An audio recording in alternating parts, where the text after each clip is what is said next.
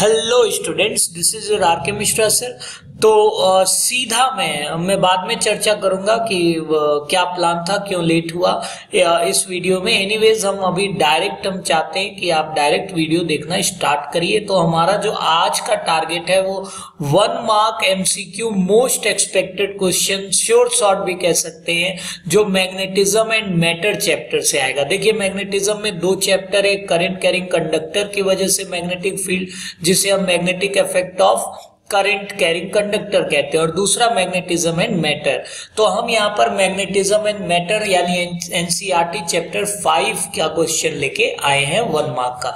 तो स्टार्ट करते हैं एंड प्लीज़ uh, इसे लाइक करिए शेयर करिए और uh, जितना ज़्यादा हो सके बच्चों को स्प्रेड करिए। ठीक? आ, क्योंकि क्या होता है बोर्ड देने के बाद अगर आप ये वीडियो देखोगे तो रियली आप फिर आ, सोचोगे कि अगर बोर्ड से पहले देख लेता तो बहुत फ़ायदा होता। ठीक तो स्टार्ट करते हैं question number one which of the following is weakly repelled by magnetic field देखिए वीकली वही रिपेल करेगा जो डाई मैग्नेटिक मटेरियल है एंड आयरन कोबाल्ट स्टील और कॉपर में copper will be diamagnetic तो answer will be D Next है question if a diameter diamagnetic material is placed in magnetic field the magnetic field inside the material compared to that outside will be तो देखिए repel करता है तो आपने देखा होगा अगर हम मैग्नेटिक फ़ील्ड बनाए तो वो दूर हटता है डायमैग्नेटिक मटेरियल से। तो obviously answer will be slightly less that is option A will be correct hundred percent ये क्वेश्चन बन सकते हैं। आ, कुछ बच्चे मैं देख रहा हूँ कि आ, जो फिजिक्स फिजिक्स का पेपर आने वाला है। उसके लिए वो आईआईटी लेवल तक के क्वेश्चन सॉल्व करे वन मार्क जो कि नहीं। आप याद रखिए सीबीएसई में सीबीएसई के ही लेवल के क्वेश्चंस पूछे जाएँगे जो आपका जनरल बोर्ड है। ठीक? तो अगला थर्ड क्वेश्चन देखिए the permanent magnetic material is characterized by तो ये हम सारे ऑप्शन पहले हमें स्क्रूटनिंग करना पड़ेगा क्योंकि कई सारे ऑप्शन हो सकते हैं। तो परमानेंट मैग्नेटिक मटेरियल का कैरेक्टरिस्टिक क्या है? नैरो हिस्टेरिसिस लूप नहीं ऐसा नहीं है। Broad hysteresis loop yes broad hysteresis loop हो सकता है। हाई मैकेनिकल हार्डनेस ये भी कोई आ, वो क्योंकि सॉफ्ट आयरन सॉफ्ट आयरन का भी यूज़ होता है और मैकेनिकली हार्ड ये भी ऑप्शन नहीं है। तो out of four broad hysteresis loop will be a good option क्योंकि जितना ज़्यादा हिस्टेरिसिस लूप ब्रॉड होगा, उतना ज़्यादा रेंटिविटी होगी और परमानेंट मैग्नेट बनाने के लिए हमें रेंटिविटी ज़्यादा चाहिए। अगला देखिए अच्छा ऐसे क्वेश्चन अंडरस्टैंडिंग के ग्रुप में आते हैं। नेक्स्ट है the area of B H loop for soft iron as compare to that for steel is तो लेस होता है। अच्छा यहाँ पे मैं एक डाउट क्लियर कर दूँ। क्योंकि हिस्टेरिसिस लूप सिलेबस में लिस्टेड नहीं है तो बहुत सारे बच्चे सोचते हैं कि हिस्टेरिसिस पे क्वेश्चन नहीं आएगा। बट मैं आपको बता दूँ ये जो आपके सामने वन मार्क क्वेश्चन है ये सीबीएसई की तरफ़ से ही आ, आ, जो आ, हमारे हमारे जैसे बहुत सारे जितने जैसे डीएवी हो गए या आपके डीपीएस हो गए या केवीस के तो बहुत सारे टीचर्स का जब एक ग्रुप डिस्कशन के बाद ये निकाला गया। और ऑब्वियसली अगर इसमें हिस्टेरिसिस लूप के क्वेश्चन प्लेस हैं, इसका मतलब हिस्टेरिसिस आपको पढ़ के जाना है। तो next question stationary magnet does not interact with तो stationary magnet obviously stationary charge से वो इंटरेक्ट नहीं करेगा, क्योंकि स्टेशनरी चार्ज कोई भी मैग्नेटिक फ़ील्ड नहीं बनाता है। तो देखिए आयरन रॉड से ऑब्वियसली इंटरेक्ट करता है, क्योंकि आयरन रॉड भी मैग्नेट मैग्नेट बन जाएगा। मूविंग चार्ज से भी करता है मैग्नेट से ऑब्वियसली करेगा ही करेगा।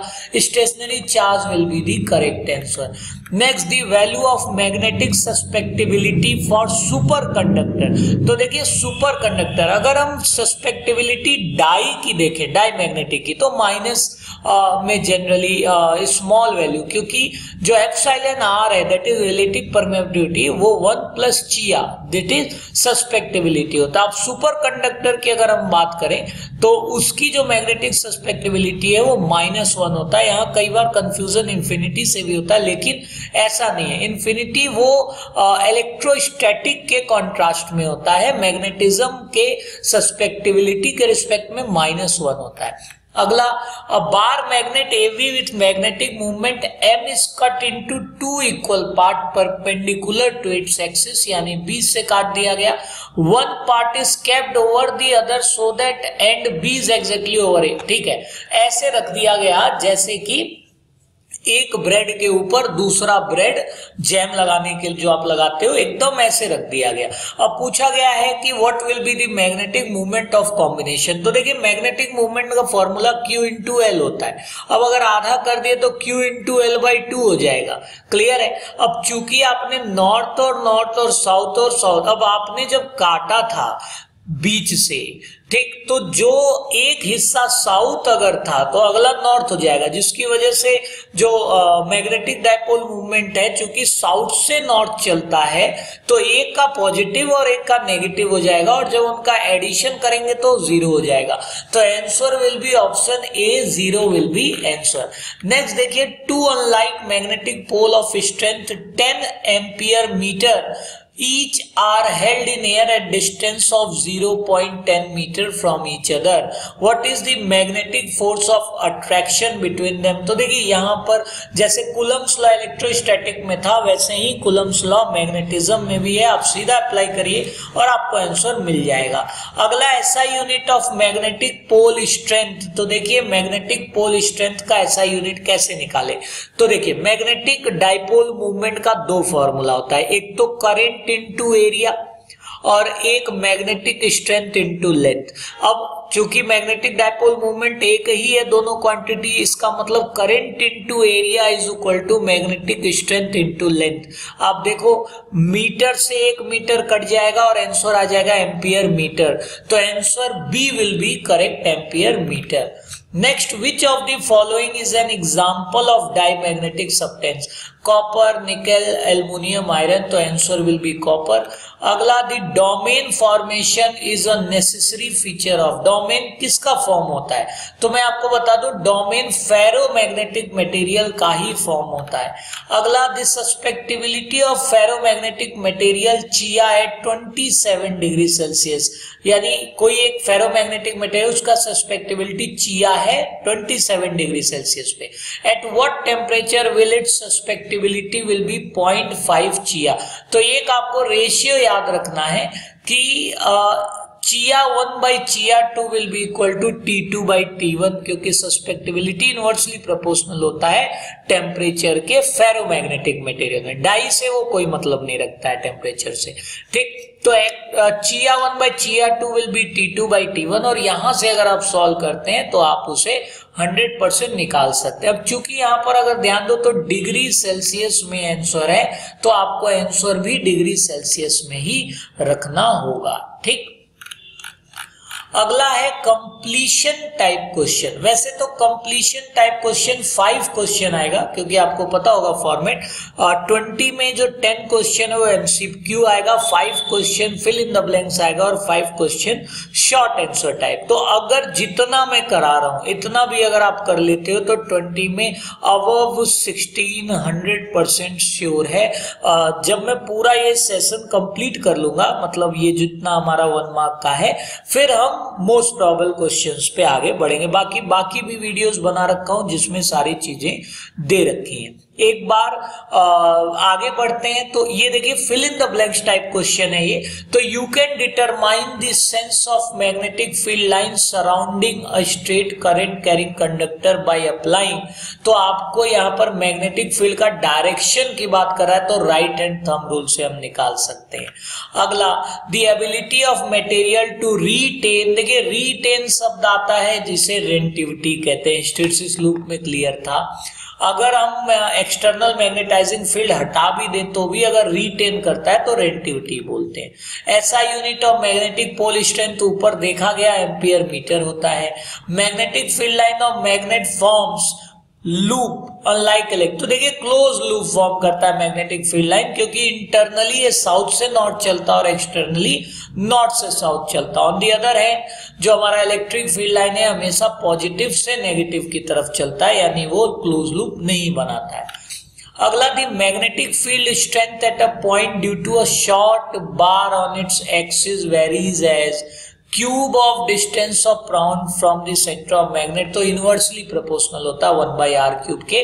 अगर R is very much greater than A यानी आइडियल की बात कर रहा है। Inside the body of a magnet the direction of magnetic field and अभी ऊपर भी बताया था साउथ टू नॉर्थ पोल होता है। तभी एक क्लोज लूप बनाता है।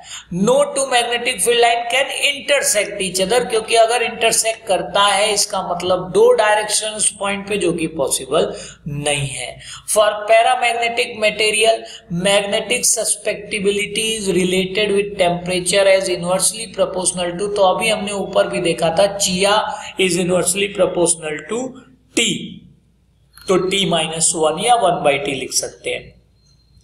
अगला magnetic susceptibility slightly negative for diamagnetic types of substance अगला there is no effect of temperature और डायमैग्नेटिक पे कोई इफ़ेक्ट नहीं पड़ता है। ऑलमोस्ट पैरा पे भी कोई इफ़ेक्ट नहीं पड़ता है। सबसे ज़्यादा फेरो पर इफ़ेक्ट पड़ता है।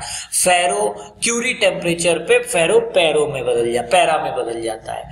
अगला ferromagnetism can explain on the basis of formation of domain आता है विद इन दी मेटेरियल्स अब देखिए true and false type question है। वैसे तो ट्रू एंड फॉल्स पहले बताया गया था कि सीबीएसई e में एक्सपेक्टेड है बट जैसा सैंपल पेपर है तो ट्रू एंड फॉल्स क्वेश्चन नहीं बनेगा।